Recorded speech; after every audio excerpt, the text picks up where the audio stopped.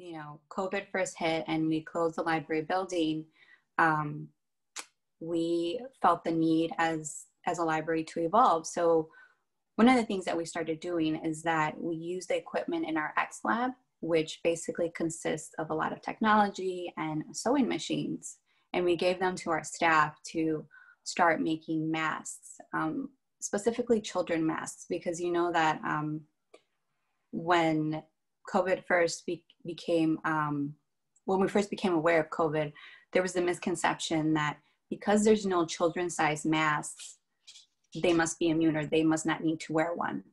Um, so we decided to focus on making children masks and we decided to tap into um, our smaller businesses independently owned in Round Lake and just asking them, hey, what can we do? Do you need masks for you, for your employees? Um, and as a library, we continue to make and get them out into the community. But I started realizing that the need was so strong that we could not tackle this just as a library. I needed the support of our community partners. Um, and that's when um, I teamed up with Maria Coluna from the school district and Betsy Berganza from the YWCA of, of Lake County. And we started um, to work as a team to get masks, to get PPE um, out into the vulnerable populations that are quarantined or that have chronic illnesses that um, don't feel safe going into grocery stores um, because they already have a chronic illness.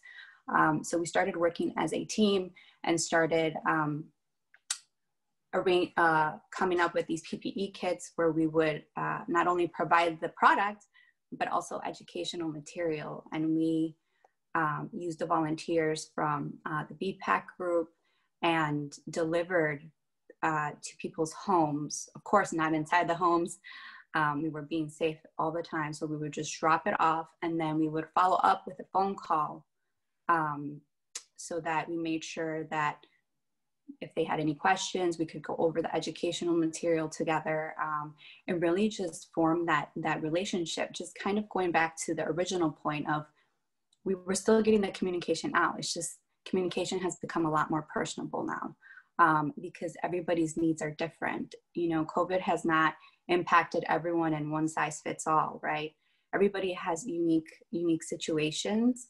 Um, and it often takes having a little bit more time to really um, have those conversations. So, yeah. No. So, what do you think has been the biggest success in project wise or community building and such during during this time? Mm-hmm.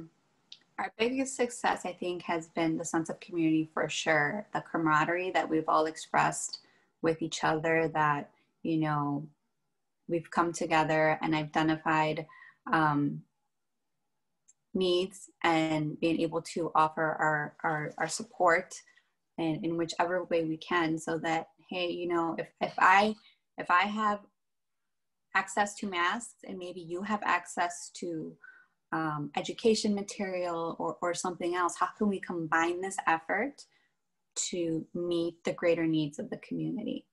Um, so i definitely think that the sense of community is stronger than ever right now for us um, whereas, you know, before, if we were not used to relying on each other as much, we were a little bit more independent.